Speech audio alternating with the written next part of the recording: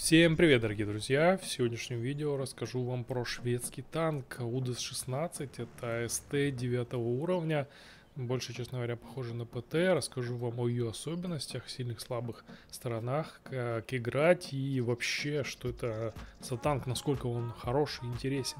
И начнем разбор в ангаре с его бронирования и вообще внешнего вида. Вот так танк выглядит, очень такой очень серьезные наклоны фанеры у него под очень сильными углами. Вот его бронирование. Самое прочное место это в башне, 70 миллиметров брони. Но поскольку фанера его наклонена под очень острыми углами, то этот танк может отбивать снаряды. И это не только его одна из особенностей, еще одна будет, э, чуть попозже расскажу, но сначала разберем бронирование. Итак, по броне у нас начнем с башни под очень-очень острым углом. Давайте где-то вот так поставлю. Тут 280 миллиметров примерно в башне. Но есть всякие тут башенки 160 миллиметров, 150 миллиметров. Есть какие-то выступы. Здесь 180, здесь 360 возле ствола. Здесь 270, здесь 190. Ну, то есть, в принципе, по пробитию данную башню можно пробивать на голде очень даже неплохо. Например, кумули пробивает даже вот в самые прочные эти места, причем наклон разный. У этой части наклон больше, у этой части башни наклон меньше. Но кумули все равно пробивает. Но только лоб, скажем так, самый прочный. И лоб корпуса. Тоже сумасшедший наклон. Здесь 50 мм брони и вот где-то вот 270 здесь вот, то есть ВЛД как бы тоже может отбивать, но на этом и все, все, что может отбивать. Дальше НЛД в районе 90 миллиметров, борт э, в районе 40 миллиметров, и посмотрите, какой я угол ставлю, вот, очень острый угол, а вот так как бы можно, в принципе, танковать, но здесь брони 130 миллиметров приведенки. То есть совсем с борта ничем не может танковать танк. То же самое по башне, если вот передняя часть еще более-менее, и то видите, да, здесь э, вот 180 миллиметров, вот если мы в это перестреляем часть. Дальше здесь 155 миллиметров, задняя часть башни вообще имеет броню в 40 миллиметров. То есть с борта все пробивается. НЛД все пробивается. Но в целом, вот расскажу вам одну фишку, когда ваш танк танкует, а у него, к слову, минус 12 углы склонения вниз, но на самом деле пушка опускается на минус 5 в башне, а плюс 7 градусов еще добавляет пневмоподвеска, то есть танк еще приподнимает задницу, и тем самым у него получается минус 12 градусов, и это его фишка, то есть как бы мы можем танковать из рельефа местности, у нас э, полностью вот эта часть бронирована, но когда мы танкуем из рельефа, Э, мы не видим, насколько показывается наш НЛД. И часто, очень часто пробивает в НЛД когда непонятно, ты его показал или не показал, потому что рельеф бывает разный, и на крутом как раз рельефе НЛД очень э, сильно задирается. Дальше, когда мы танкуем как бы против противников, у нас есть такой прикол, что нас могут с разных сторон смотреть противники, и мы можем чуть-чуть показывать наш борт, и этого будет достаточно, чтобы нас сюда уже пробивать. По правилу трех калибров, орудие больше 120 мм или равно 120 мм уже вот сюда в борт будут пробивать без проблем под любыми углами. Поэтому по броне танк очень специфичен. Дальше разберем остальные его параметры. А теперь я хотел бы более подробно остановиться на технических параметрах. Начнем с орудия. Пробитие орудия стандартным подкалибером 234 мм и голдовым подкалибером 263 мм. Довольно небольшая разница в пробитии. И для 9 уровня 234 пробития довольно мало, плюс это подкалибр. Еще хотел бы отметить, что летят они с одинаковой скоростью 1150 метров в секунду примерно. И это не очень быстро. Обычно, если даже голдовые используются на других танках под калибры, где-то полторы тысячи метров в секунду у них скорость полета. И это очень комфортно для стрельбы. Здесь же не совсем быстро и не чувствуется, что играешь именно под калибр, которые летят очень быстро. Но это, конечно, специфика данного танка и данного орудия. Даже пробовал играть на стоковом орудии, поскольку мне это орудие не понравилось топовое. Там пробитие 217 и 253 мм, соответственно, под калиберными снарядами. Но оно во всем проигрывает топовому, поэтому отказался от этой идеи. И все-таки весь путь прохождения танка играл на топовом орудии. Конечно же, много опыта вам понадобится, чтобы вывести танк в топ. Урон 390 у топовой пушки и такой обычный урон. ДПМ 2294 единицы, не плохой не хороший, нормальный, точность 0.36. Время сведения 2.2. Мне очень понравилась стабилизация орудия. Круг довольно долго сводится. Точность 0.36 и орудие оказалось косоватым. То есть быстро перевестись и выстрелить не получится. Вам нужно обязательно свестись до конца и при этом не факт, что вы попадете. Особенно если это на длинных дистанциях. Вблизи еще Куда ни шло, точности достаточно, но на дальних не хватает. Как я говорил, углы склонения орудия минус 5 вниз, 15 вверх. Это без подвески.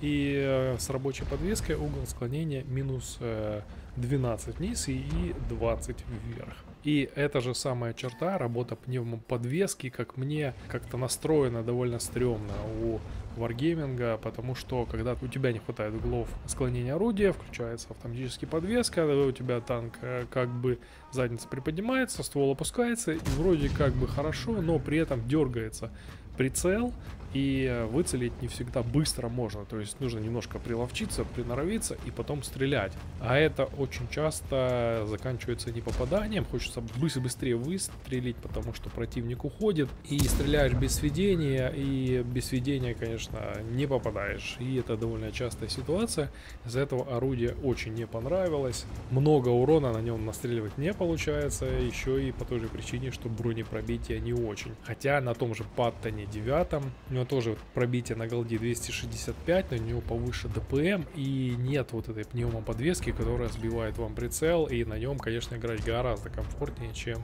на Удосе 16. По подвижности танк, в общем, очень даже неплох. Удельная мощность 21 лошадей на тонну, максимальная скорость 50 км в час. Очень вертлявый танчик, очень хорошо поворачивается корпус и башня. И по подвижности ему даже такой хороший плюс можно поставить. И, конечно, он не очень быстрый, не феноменальная удельная мощность, но в целом э, танк хорош. По обзору 390 метров у нас обзора. Это не очень много, это не 400, как у многих. Но с этим можно жить, э, если поставить оптику и включить перки на обзор, то максимальный обзор вы достигнете и даже больше. Что еще из оборудования? Стабилизатор я поставил и досылатель. Ну, классика, самое необходимое, я считаю, оборудование. Танк очень часто у меня горел. Два боя у меня было, где я сгорел полностью, когда меня два раза подряд поджигали. А, у меня срабатывал автоматический огнетушитель. Через какое-то время опять пробивали бак, опять загорался и догорал уже полностью.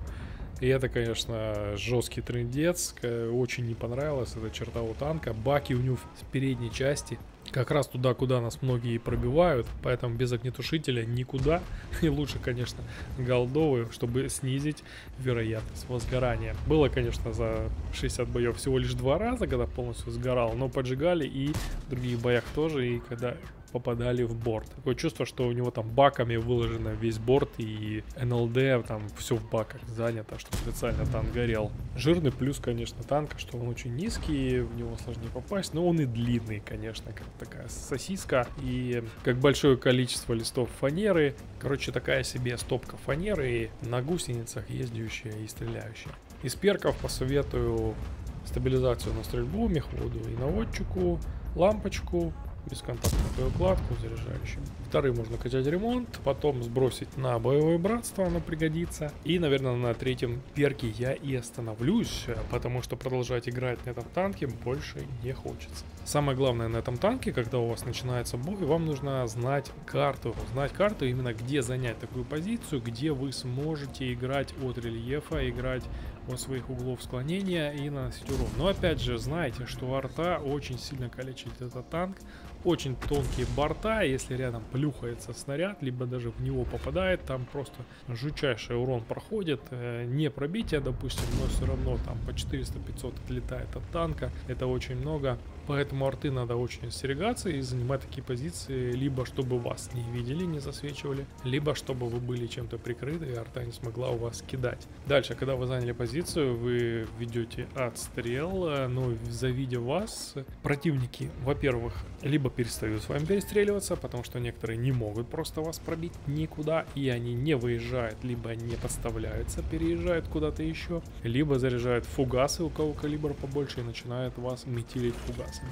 либо кто попроще, просто заряжает кумулятивные снаряды, например, там 10 э, уровни, и просто вас в башню начинают шить, поэтому, э, ну, как у любого танка, наверное, в игре, у него абсолютно какой-то неуязвимости нет, и он живет до поры до времени. Если вы замечаете, что начинает плохо становиться вашему танку, то, конечно, меняйте позицию. Ну, а дальше смотреть по ситуации, играть, собственно, как на СТ, но опять же, опять же, всегда думать, где вы сможете применить свой танк от рельефа.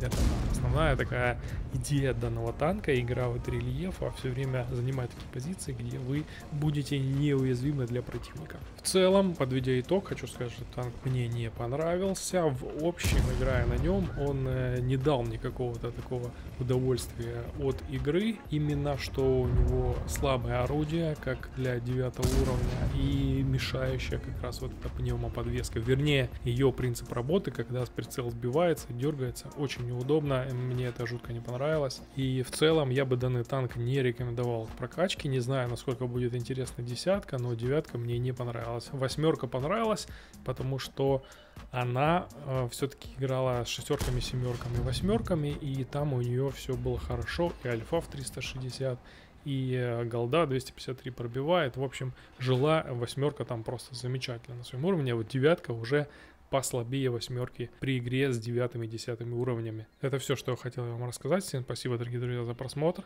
Ставьте лайки, не забудьте подписаться на канал и прокомментировать данное видео. Всем спасибо и пока. С вами был Дваска.